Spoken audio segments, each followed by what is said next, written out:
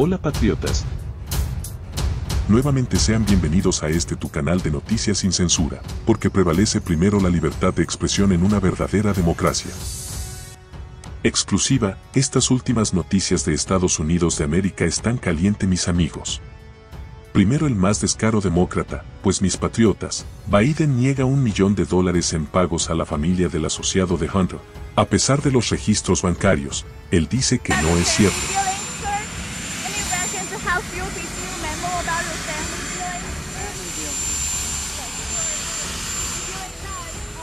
Hunter Biden Smith Associates sent over a million dollars to free up their family members. Any reactions to that report? That's not true. Eso no es cierto, dijo Biden, cuestionando los registros financieros que muestran que Hunter, Jem y Hallie Biden recibieron pagos lucrativos de uno de los socios comerciales de Hunter, según los republicanos. Sostenela y no enmendalla, esa parece ser la defensa del presidente de Estados Unidos, Joe Biden, ante las pruebas documentales de que su familia y, con toda probabilidad, él mismo, recibió pagos procedentes de empresas chinas cuando era vicepresidente. ¿Qué los registros bancarios dicen lo contrario? No importa, Biden no niega todo. Claro que tampoco hay que descartar la posibilidad de que yo no se acuerde. Si confunde a su mujer con su hermana, se inventa cada vez su pasado y se queda a menudo en blanco. No debería ser tan extraño su, eso no es cierto, en respuesta a los registros financieros que muestran que Hunter, Jem y Hallie Biden recibieron pagos lucrativos de uno de los socios comerciales de Hunter. El caso es que Biden ha negado que su familia haya recibido más de un millón de dólares en pagos de cuentas, relacionadas con el socio comercial de Hunter Biden, Rob Walker, y sus empresas comerciales chinas en 2017, a pesar de que los registros financieros indican lo contrario. El jueves, los legisladores republicanos del Comité de Supervisión de la Cámara revelaron que habían obtenido documentos bancarios que mostraban que Hunter Biden, el hermano del presidente Jem, y Hallie Biden, la viuda de su hijo Bo, recibieron pagos del socio comercial de Hunter, Rob Walker, y su empresa conjunta con la empresa energética china CEFC. Un portavoz del equipo legal de Hunter Biden confirmó los pagos el jueves, pero enfatizó que las cuentas de los destinatarios pertenecían a Hunter, su tío y Hallie, nadie más. Sin embargo, Biden negó que los pagos se hayan realizado cuando un reportero le confrontó en el jardín de la Casa Blanca. Patriotas también te contamos que los republicanos incendian el veto de Biden al proyecto de ley ESG bipartidista. Buena suerte explicando esto. Biden una vez más está anteponiendo su agenda izquierdista a apoyar el trabajo bipartidista para los estadounidenses en el Congreso, dijo el representante Austin Scott. Los republicanos rompieron el primer veto del presidente Biden que detuvo un proyecto de ley bipartidista que eliminaba una nueva regla del Departamento de Trabajo que alentaba a los fiduciarios de jubilación a considerar cuestiones ambientales, sociales y de gobierno corporativo ESG en sus inversiones.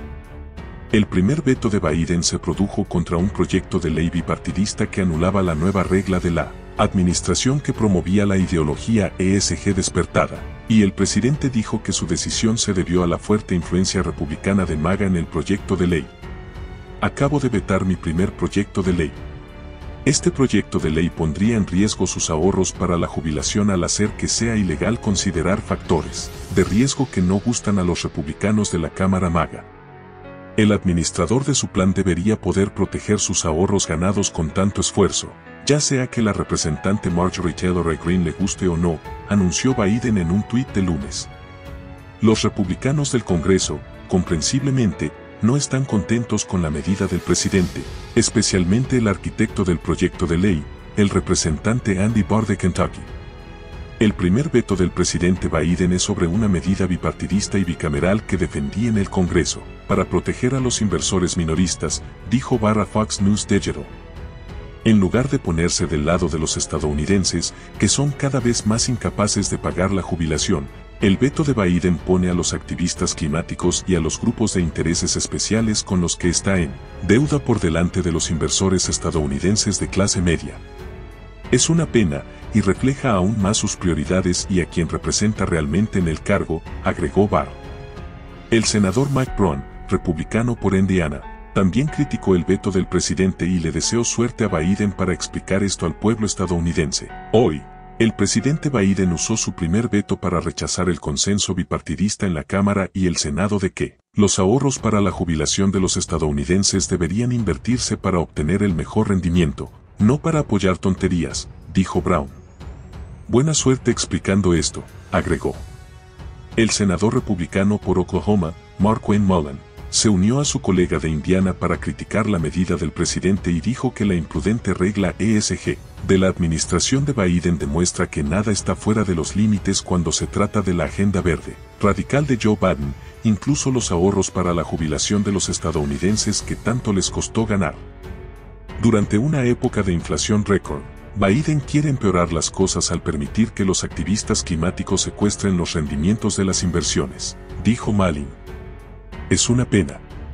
A pesar de la oposición bipartidista, el presidente está redoblando su mala política y dejando que los estadounidenses trabajadores paguen el precio, agregó. La representante republicana de Texas, Jody Arrington, rompió el veto y dijo que las personas que invierten nuestro dinero ganado con tanto esfuerzo deben centrarse en el valor financiero, no en señalar la virtud. Esta semana, el Congreso aprobó un proyecto de ley bipartidista para proteger a los pensionados y jubilados de los activistas que quieren usar sus ahorros para promover una agenda política, dijo Eddington. La amenaza del presidente Biden de vetar esta legislación muestra que está más interesado en aplacar a la izquierda radical que en escuchar al pueblo estadounidense, e incluso a los miembros de su propio partido en el Congreso. El representante Austin Scott, republicano por Georgia, incendió el veto de Biden y le dijo a Fox News Digital que la agenda ESG despertada de Biden es injusta para los estadounidenses y no hace más que impulsar la industria estadounidense a otros países. Biden una vez más está poniendo su agenda izquierdista por encima del apoyo al trabajo bipartidista para los estadounidenses en el Congreso, dijo Scott.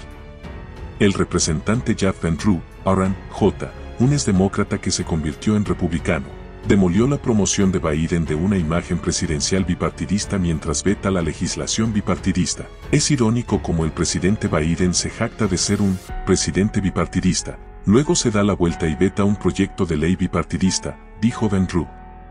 Hay oposición republicana y demócrata a los cambios dañinos del Departamento de Trabajo en la forma en que se invierten los fondos de jubilación de los estadounidenses, pero a este presidente no le importa.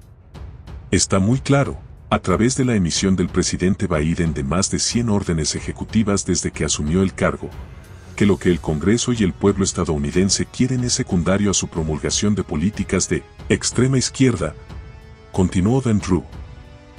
¿Y tú dime qué opinas? Regálame tu comentario, muchas gracias.